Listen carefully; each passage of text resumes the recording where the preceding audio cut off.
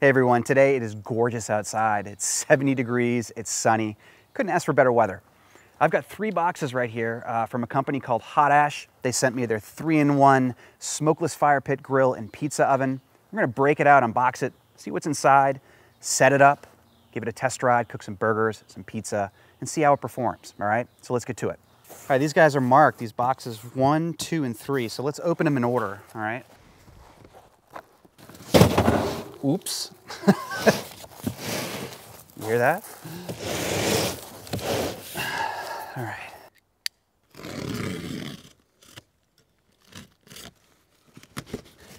All right. Nice. So this must be the pizza oven. And this is the Cordierite pizza stone and it's intact. Good. Sometimes these things show up and the stone is broken somehow it happened in shipping, but this is in this is in one piece. And it's pretty thick. It's like a half inch, so that's a good this is a good heavy stone. Nicely packed, that's for sure. They've got a lot of padding in this box. And wow, yeah, it is heavy.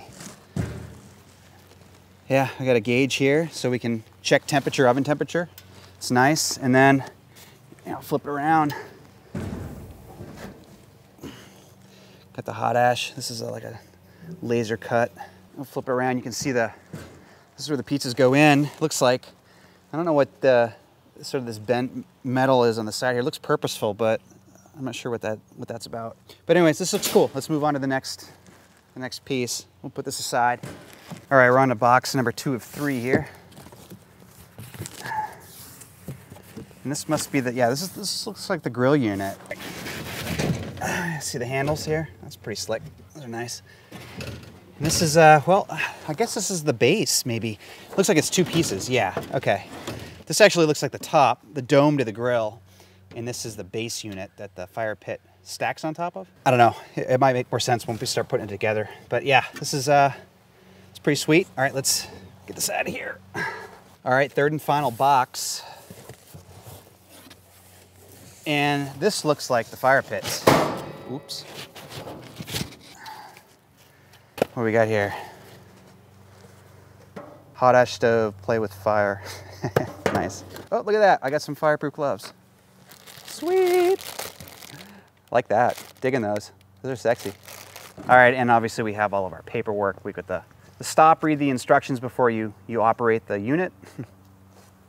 and a thank you from Hot Ash. And then the instruction and assembly manual. But uh, we don't need that, do we? This looks like this is the, the inside of the fire pit. This goes at the bottom of the fire pit. And just be careful, guys. Some of this metal is pretty sharp. You can cut yourself pretty easily, but nonetheless, it's, it's nicely constructed. It feels well made. All right, let's uh, let me get this out of the box and we'll just assemble everything right here and fire it up. Give it a test ride, all right?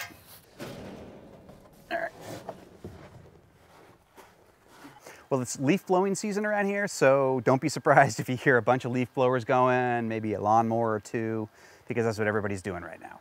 Anyways, we've got things set up, um, or laid out rather. I've got the base over here, the base to the unit.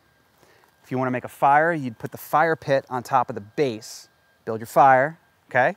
If you wanna do some cooking, or grilling rather, you would put this collar on right here, okay? That goes on top of the fire pit, and then the grill goes on top of the collar.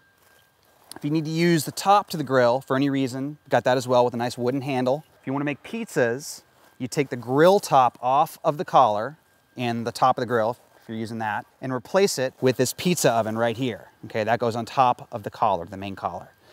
And that's it. So let's do some cooking, give it a test ride, and see how things turn out. These aren't terribly heavy, but they have a little weight to them. There we go.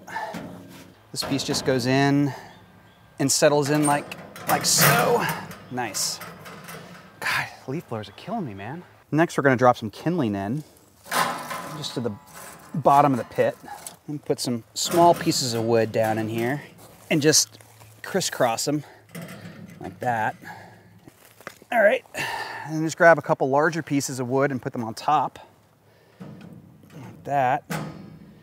Now it's time to light the fire light this tinder. Okay, I think we're good. That should catch.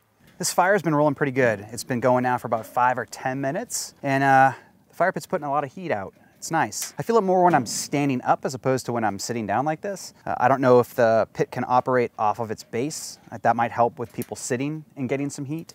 But uh, nonetheless, it's doing its job. It's putting out heat and it feels really good. Um, we're gonna let the heat die down a little bit here. Then we'll slap the grill on and make some burgers. This fire's still rolling just a little bit hard in order to grill anything. But I'm gonna throw that collar on and the grill top just to preheat it before we cook any burgers. All right, we got a nice uh, even bed of charcoal down there. The wood's burned down, it's all coal at this point. Well, not coal, but you know what I mean.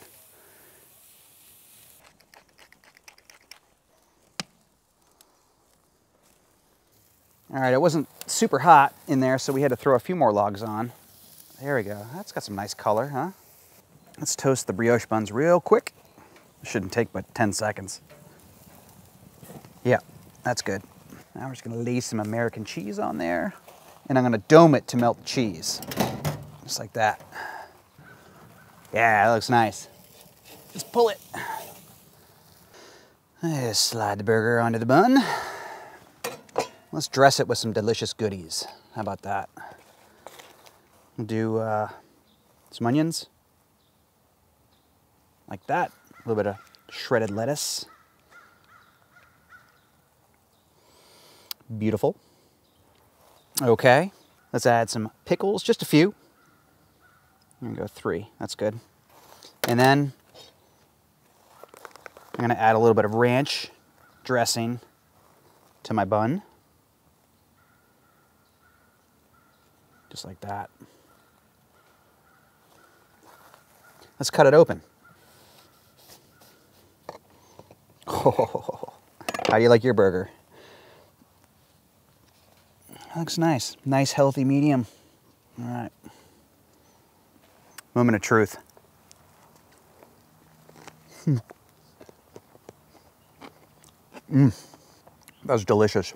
I get a little bit of, get a little taste of the, the flame, the flame cooking there, flame grilling, wood cooking, I don't know, whatever you want to call it. It delicious.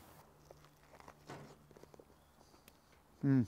Nice and juicy, lots of flavor. Awesome. Let's throw the pizza oven on top and cook a pizza and see how they turn out. All right, I'm gonna pull the grill, all right? Oh, with these gloves, these things are, these things are awesome, by the way. And I'm gonna drop the pizza oven on top of the collar and we're gonna preheat the stone, just like that. So I'm gonna do a little thin crust action for you guys. Put some flour on the board. Come on, boy, get out of there. There we go. And for thin crust, the one thing you need, in my opinion, you don't have to use one, is a rolling pin. The dough that I used for this recipe is uh, my New York style pizza dough, and I'll link to that video in the upper right hand side of this video. But I'm making thin crust pizza with it today. There, that's a pretty good size for a thin crust. Yeah. A little bit of sauce. This is my, uh, my cooked pizza sauce recipe. I will put a link to that as well in the upper right hand side of this video. I need a bigger spoon for this, I really do. Could have dropped that in the shopping cart. Some mozzarella cheese. This is full fat mozz. It's uh, partially dried. Mozz, not fresh mozz, all right? Yeah, you guys might be a little scared of this, but it's okay. I'm used to it. it's stretchy stretch. Almost forgot the Parmigiano. There. Beautiful. All right, oven temp's about six, 650. Let's slide this baby in there and see how she turns out. Guys, just to let you know, the pizza oven portion of the Rambler, that was actually damaged in shipping back in November. This is a new unit. They sent it to me uh, in December, but we had some really crappy weather for the past couple of months. Now it's March. Hey, how you doing? Um, and I'm making pizzas for you. So um, just wanted to give you the heads up in case you noticed maybe my different pants. I am still wearing the same sweatshirt and the hat though, all right? Uh, she's dropped a little bit, close to 600 now. Here, I'm gonna take this pizza out and give it a spin. Yeah, Whew, almost done, very close. Yeah. I'm gonna top this pizza on the, place it up toward the top of the, the oven. All right. Oh, I think I just touched the top. Whoops. Check that out. Ooh, super crispy. Nice. All right. We should cut into it, give it a little taste, see how crispy it is. Oh yeah, that's crispy. Not pretty, but crispy. All right, birds, quiet down. Quiet down now. Yeah. What do you think? Looks pretty good underneath. Nice and crispy. Browned nicely. Let's taste.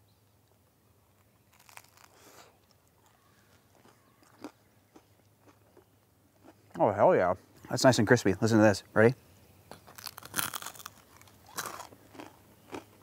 Can you hear that? You know, I had pepperoni and I totally forgot to put it on the pizza. We'll do that next time. This is really, really good. Tasty. All right, guys, I made a roaring fire. We flipped some burgers and we made pizza on this Rambler. And I gotta say, I've really enjoyed using this piece of equipment and I'm gonna cook more on it in the future.